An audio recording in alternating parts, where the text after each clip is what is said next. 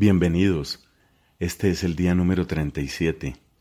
Estamos en el camino de leer toda la Sagrada Escritura en 365 días.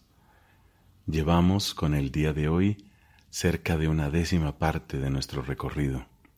Hoy tenemos textos del libro del Éxodo, del libro de los Salmos y el final del capítulo 20 del Evangelio según San Mateo. Pidamos la gracia, el auxilio del Espíritu Santo.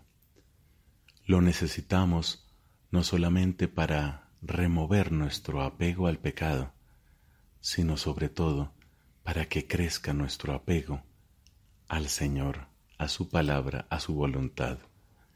En el nombre del Padre y del Hijo y del Espíritu Santo. Amén. Del libro del Éxodo capítulo 9. El Señor dijo a Moisés, Ve a presentarte ante el faraón y dile, Así habla el Señor el Dios de los Hebreos, deja que mi pueblo salga a rendirme culto. Porque si te resistes a dejarlo partir y sigues reteniéndolo, la mano del Señor enviará una peste mortífera contra el ganado que está en los campos, contra los caballos, los asnos, los camellos, los bueyes, y el ganado menor.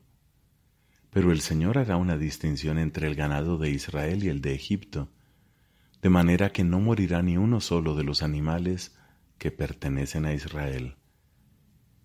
Y el Señor fijó un plazo diciendo, Mañana cumpliré esta amenaza contra el país. En efecto, al día siguiente el Señor cumplió su palabra, y entonces murió todo el ganado de Egipto. A los israelitas, en cambio, no se les murió ni un solo animal. Y cuando el faraón ordenó que hicieran un recuento, se comprobó que los israelitas no habían perdido ni una sola cabeza de ganado.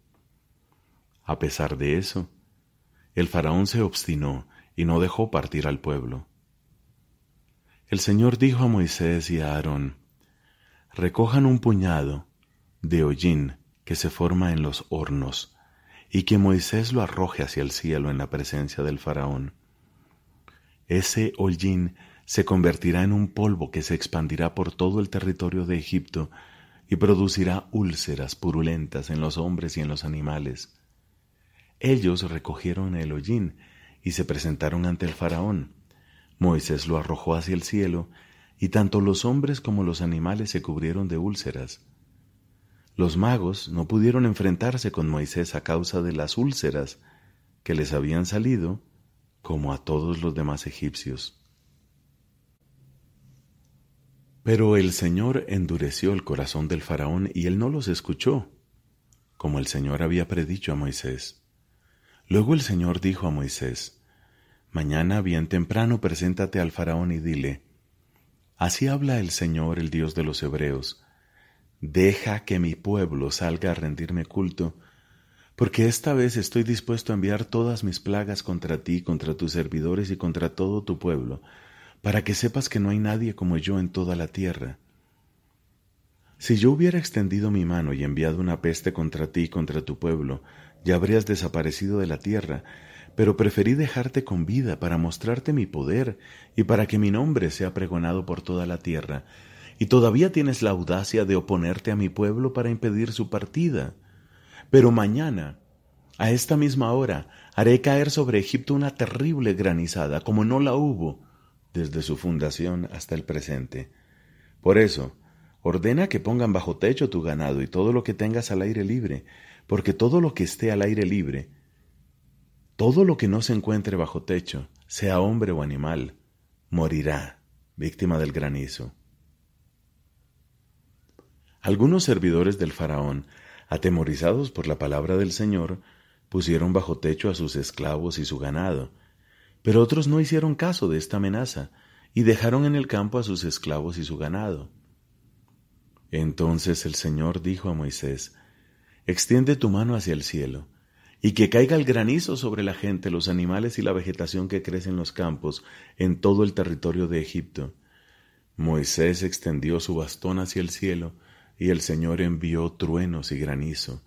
Cayeron rayos sobre la tierra, y el Señor hizo llover granizo sobre Egipto, El granizo y el fuego que formaba remolinos en medio de él se precipitaron con tal violencia que nunca hubo en Egipto nada semejante desde que comenzó a ser una nación. El granizo mató a todos los hombres y animales que se encontraban al aire libre en el territorio de Egipto, arrasó toda la vegetación de los campos y destrozó todos los árboles. Solo se libró del granizo la región de Gosen, donde habitaban los israelitas. El faraón mandó llamar a Moisés y a Aarón y les dijo, Esta vez debo confesar mi pecado. El Señor tiene razón mientras que yo y mi pueblo estamos equivocados. Rueguen al Señor que haga cesar los truenos y el granizo y yo los dejaré partir. Ya no tendrán que permanecer aquí más tiempo. Moisés respondió, Apenas salga de la ciudad extenderé mis manos al Señor y cesarán los truenos, y no habrá más granizo, para que sepas que la tierra pertenece al Señor. Sin embargo, yo sé muy bien que ni tú ni tus servidores temen todavía al Señor Dios. En aquella oportunidad fueron destruidos el lino y la cebada, porque la cebada ya había echado espigas y el lino estaba florecido. El trigo y el espelta, en cambio, como son tardíos, escaparon a la destrucción. Después que se alejó del faraón, Moisés salió de la ciudad y extendió sus manos al Señor. Entonces cesaron los truenos y el granizo y no cayó más lluvia sobre la tierra. Pero cuando el faraón vio que la lluvia, el granizo y los truenos habían cesado, reincidió en su pecado y endureció su corazón lo mismo que sus servidores. El faraón se obstinó y no dejó partir a los israelitas, como el Señor lo había predicho por medio de Moisés. Palabra de Dios. Te alabamos, Señor. Salmo número 36 Del maestro de coro de David el servidor del Señor. El pecado habla al impío en el fondo de su corazón. Para él no hay temor de Dios, porque se mira con tan buenos ojos que no puede descubrir ni aborrecer su culpa.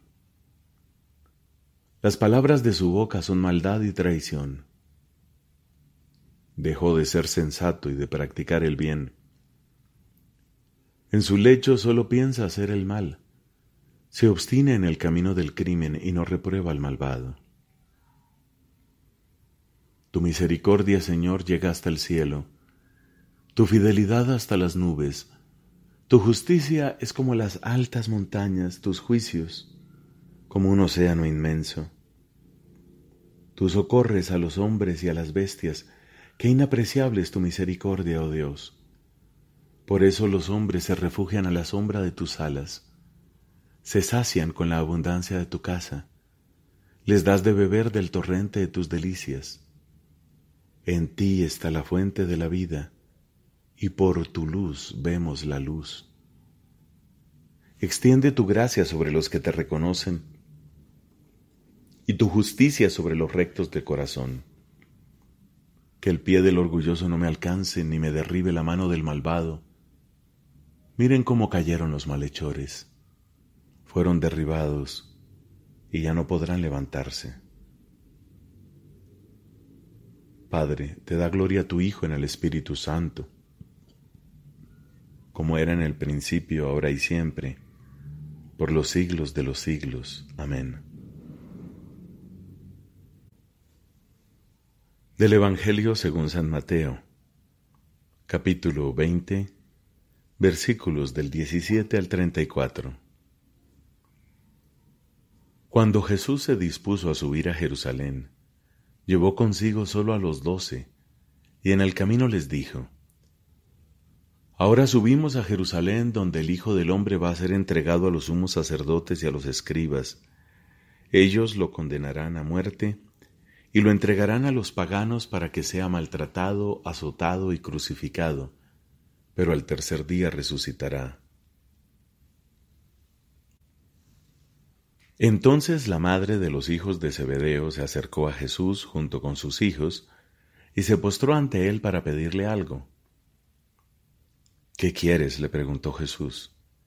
Ella le dijo, Manda que mis dos hijos se sienten en tu reino, uno a tu derecha y el otro tu izquierda.